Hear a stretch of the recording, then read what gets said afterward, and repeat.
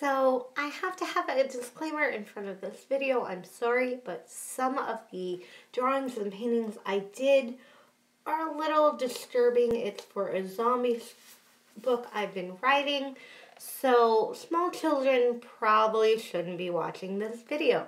But I've had a lot of problems with some of these paintings and drawings and I just wanted to have somewhere to discuss it. The problem with this one is that it's just not finished. And this one is almost finished, I think. I'm not sure if it's finished or not.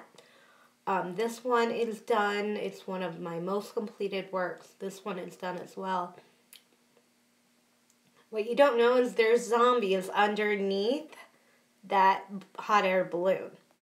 This one I drew, but my mother was the one to paint it, so it's not in my exact painting style, which probably isn't very good anyway.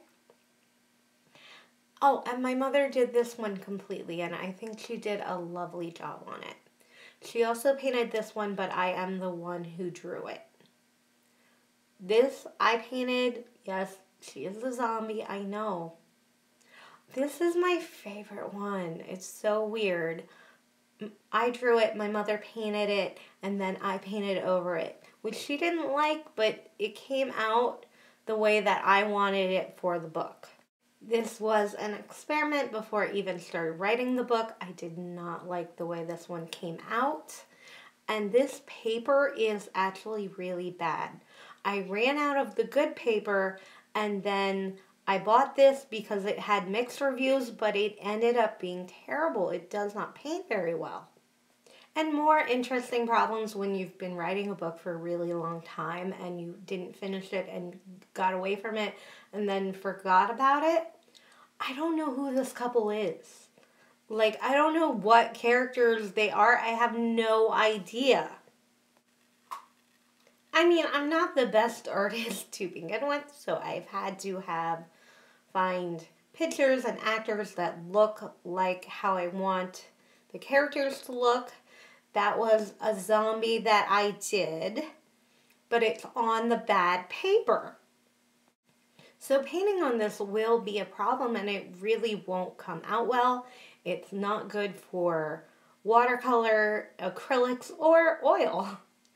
I do really love this one, but I haven't finished it. That is The Queen of England uh, armored carriage, a fa- fine family, and two people and her head is so much bigger than her his i did not realize that when i was painting at least i know who they are and this one again is the bad paper and it's really hard to get anything to look good because it doesn't layer very well. This is the bad paper as well. That is actually the good paper, but I've never finished this painting. And I really need to work on drawing over that painting because one of the characters doesn't look right. I may have to go back to the story, add another character for that to be because they do not look how they should look for the book. I'm particularly proud how this particular zombie came out. I think he looked really good. I'm really not sure if I painted this one or my mother painted this one, but I know I drew it. I'm not happy with how she looks. I'm not sure what I'm going to do. I do love this one, but maybe I should just use colored pencil. I'm not sure. I'm trying to paint this bad paper with colored pencil, watercolor pencil, and we'll see how it comes out. I did realize that if you use the colored pencil directly on it after it's been wet that that is bad because it goes on too dark. You can see where it is too dark on this particular zombie. I have read through the book recently that I've been working on, and it does need a lot of work, just little additives, and it needs chapters moved around and an ending. I did not write the ending. Oh no. I'm hoping to be done with the book in six months and then probably publish in about a year.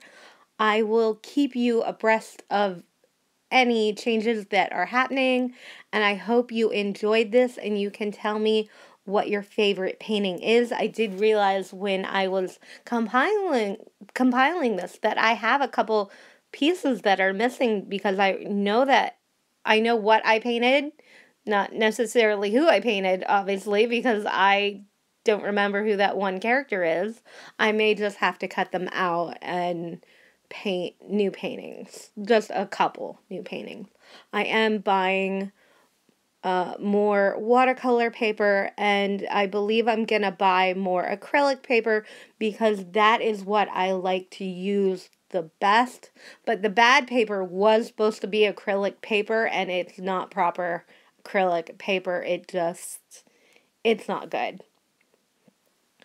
This is a picture of what I painted, but I had to use water gouache color and it just dried so quickly that um, you're not getting the details that you should be getting with the gouache painting. So I had to paint really, really quickly and it came out okay, but not great. Thank you for watching this video that was all about me and my art. And I hope you enjoyed it and I hope that you love art too.